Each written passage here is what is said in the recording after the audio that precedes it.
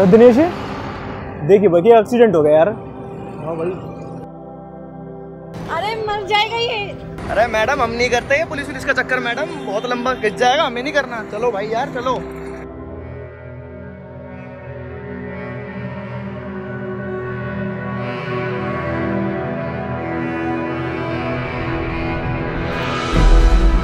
अरे आराम करो इसकी मदद कर है। बाढ़ में जाओ। साले इसकी वीडियो बनाने लगे चल भाई चल। मर जाएगा चालियो।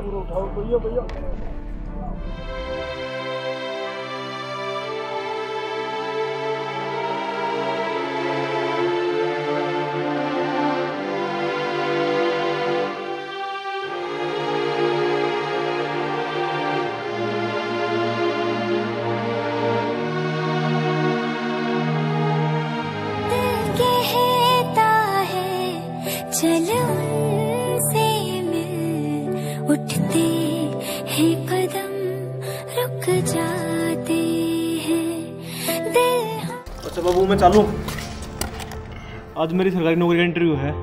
बहुत बढ़िया बेटे। कामयाबी मिल लगी तना। बाबू बस आशीर्वाद दो आपको अपना है। पूरा आशीर्वाद है बेटे। ये बाबू चलो मैं मार हो रही है ठीक है बेटे। हे भगवान मेरे बेटे की सरकारी नौकरी ज़रूर लगवाइए।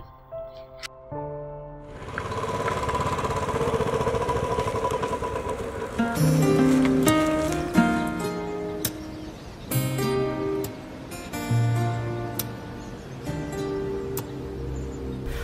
क्या हो गया यार, इसमें इसने भी खराब होना था।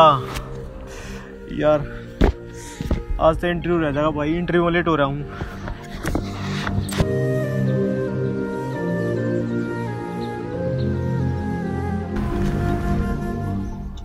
गाड़ी था यार।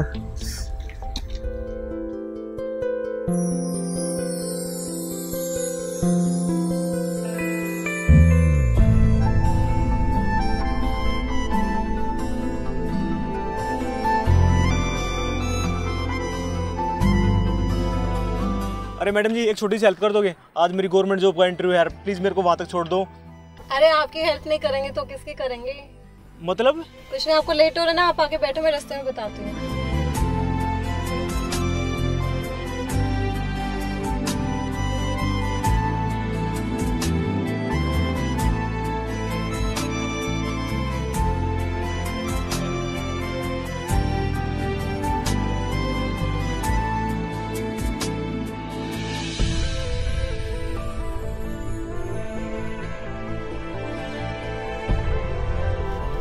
अरे सुनो तो।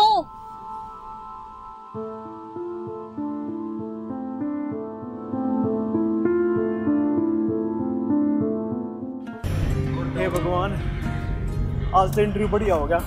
यार नौकरी लाग जा। ओ हेलो हेलो मुझे बोल रहा है कोई?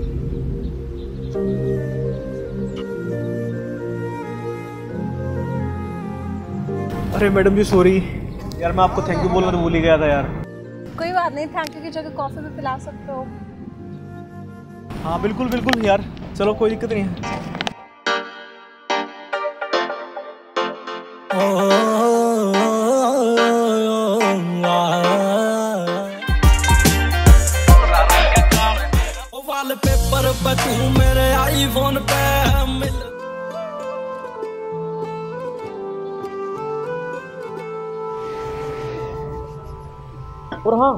तुम दोपहर में मुझे क्या बात बता रही थी यार? मैं आपको ये बता रही थी कि उस दिन आपको याद है आपने उस लड़के की हेल्प की थी रोड पे उसका एक्सीडेंट हो गया था और कोई भी हेल्प करने के लिए रेडी नहीं था।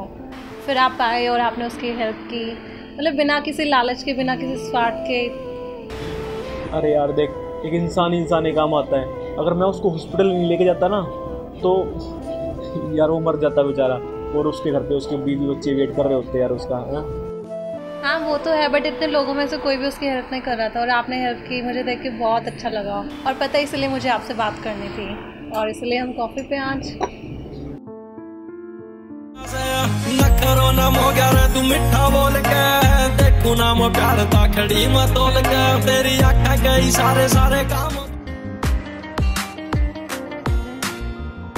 तेरी हूँ तेरी, मैं तो सारा दिन गावैती। देसी सा बालक मैं था इंग्लिश किते आवे थी। देसी सा बालक मैं था इंग्लिश किते आवे थी।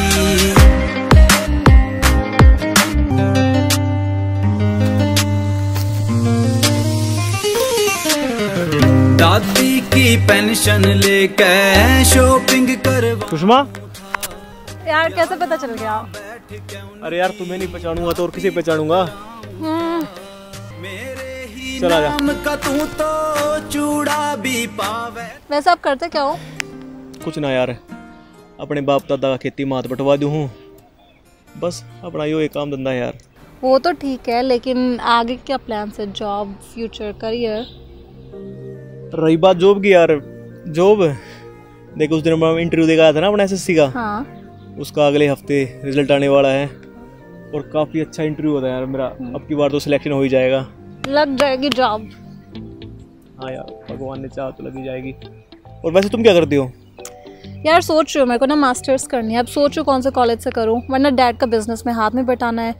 तो सोच रही हूँ कहाँ से करूँ? रे मैं शुरू ते शौकीन रहा काले रंग का तेरा गोरा रंग काल देना पंप करे से Hello. Yes, this is Sushma. What?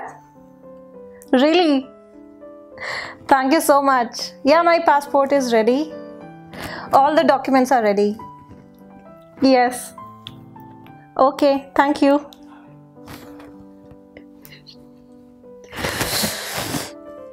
ये न्यूज़ ना सबसे पहले लोकेश को बताती हूँ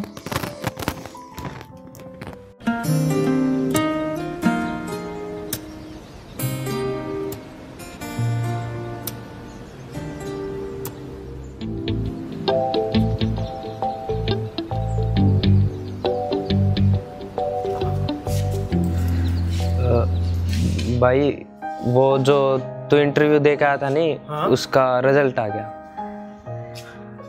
आ गया रिज़ल्ट भाई तेरा सिलेक्शन ना होया। चल ठीक है भाई मैं चालू।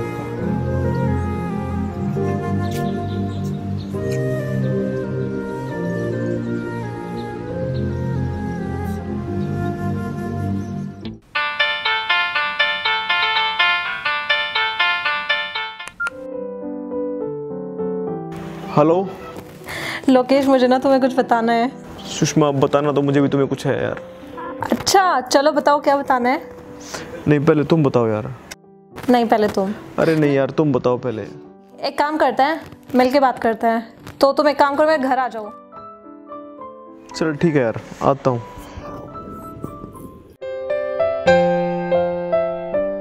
हाँ सुषमा क्या बात बताने वाले थे यार बताओ। पहले तुम बताओ तुम्हें कुछ बताना था ना? अरे मेरी बात इतनी खास नहीं पहले तुम बताओ। नहीं पहले तुम बताओ। अरे यार मैं उस दिन वो गवर्नमेंट जॉब के लिए इंटरव्यू दे के आया था ना। वो क्लियर हो गया। नहीं हुआ यार मैं उसमें रह गया। तो कोई बात नहीं अगले अटेम्प्ट में क्लियर हो जाएगा। ऐसे कैसे हो जाएगा यार? वो मेरा लास्ट अटैम्प्ट था। तो अब? तो अब क्या? अपनी खेती बाड़ी संभालेंगे जमींदारा करेंगे। और हाँ तुम क्या बात बताने वाले थे बताओ?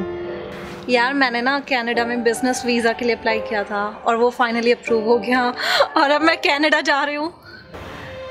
फिर मेरा क्या होगा यार? मतलब हमारा क्या होगा? अरे क्या क्या होगा? मैं परमानेंटली कनाडा थोड़ी जा रही हूँ। दो साल में जब मेरा बिज़नेस सेटअप हो जाएगा मैं वापस आ जाऊँगी या फिर तुम्हें भी वहीं बुला लूँगी। और कल तो मुझे एयरपोर्ट ड्रॉप करने आ रहे हो और मुझे कोई बहाना नहीं सुनना है। चलो मेरे को ना बहुत सारी पैकिंग करनी है मैं चलती हूँ ਵੇ ਮੈਂ ਪੀਆਰ ਹੋ ਗਈਆਂ ਕੈਨੇਡਾ ਸੋਹਣਿਆ ਹੁਣ ਟੈਨਸ਼ਨਾਂ ਨੂੰ ਮਾਰ ਦੇ ਤੂੰ ਠੇਡਾ ਸੋਹਣਿਆ ਟੈਨਸ਼ਨਾਂ ਨੂੰ ਮਾਰ ਦੇ ਤੂੰ ਠੇਡਾ ਸੋਹਣਿਆ चल भाई मोनू या सुषमा भी आज छोड़कानी है चल भाई मोनू पर क्या करा छोड़कानी तो पड़ेगी अरे भाई अब्बू की तबीयत खराब हो गई क्यों ਵੇ ਭਾਵੇਂ ਮੁਲਕ ਬੇਸ਼ੱਕ ਦੂਰ ਨੇ, ਪਰ ਦਿਲ ਨਹੀਂ ਉਹ ਅੱਖ ਆਪਣੇ। ਵੇ ਮੈਂ ਪੈਰਾਂ ਤੇ ਸਟੈਂਡ ਹੋ ਗਈ, ਹੁਣ ਸੁਪਨੇ ਹੋ ਜਾਣੇ ਸੱਚ ਨੇ। ਆਪਾਂ ਦੋਵਾਂ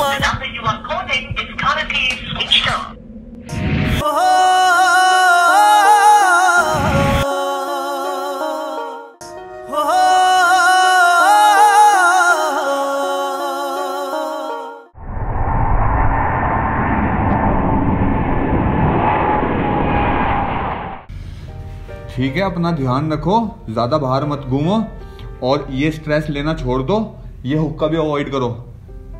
ठीक है डॉक्टर साहब। हाँ तो अभी मैं चलता हूँ मैं आऊँगा कल देखने तुम्हें दोबारा ठीक है? बाबू क्यों हुआ डॉक्टर साहब क्यों मेरे बाबू का कुछ नहीं थोड़ा सा स्ट्रेस ले रहे थे इनका ध्यान रखो इनका खाने पीने का ध्यान रखो इनसे मेहनत के काम मत करवाओ बिल्कुल भी।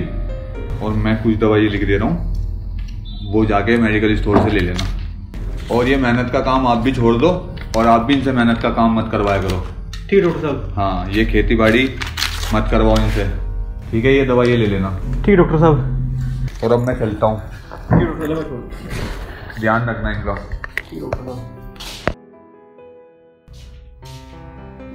बाबू ले ये दवाई ले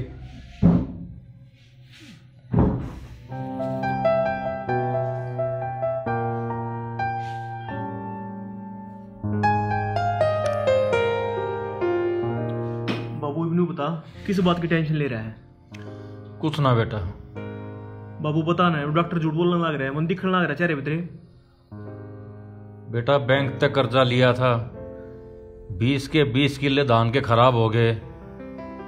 कर्जा कितना तारेंगे खान के दाने नहीं मिल रहे और ऊपर ते तेरी नौकरी भी ना लगी। क्यों कर क्या करेंगे? बाबू आप टेंशन क्यों ले रहे हो? आपका पूत रहा। सारे कर्जे ने मैं उतारूँगा। ये बेटा तेरे पे उम्मीद से तो तन्ने करना है सबके मैं। कहन की मत ना हो बाबू के दे हरीब टेम बदलांगे। तेरी माटी का मैं हूँ। देखता रहिए मज़ा आओगा।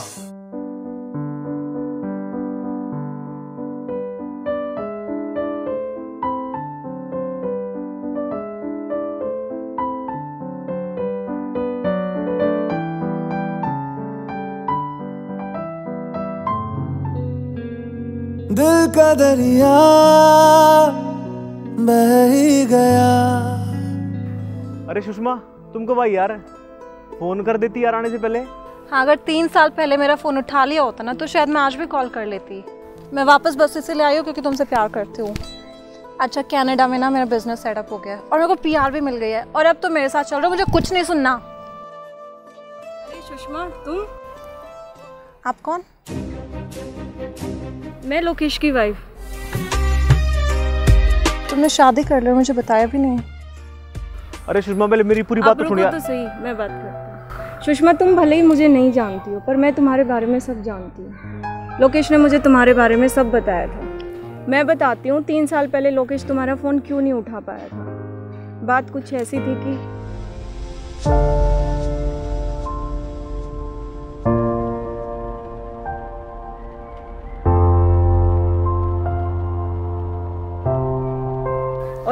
इतने दिनों के बाद आई हो तो कुछ दिन रुक के जाना अभी हमारे पास।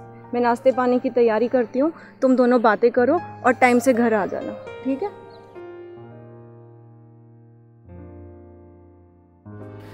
सुषमा यार, ना तुम गलत थी, ना मैं गलत था।